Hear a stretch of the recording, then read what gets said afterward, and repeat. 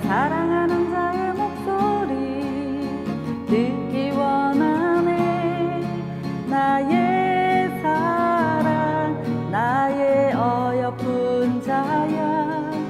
바위 드문이란 곳에서 듣기 원하네. 부드러운 주님의 음성. 나의 사랑하는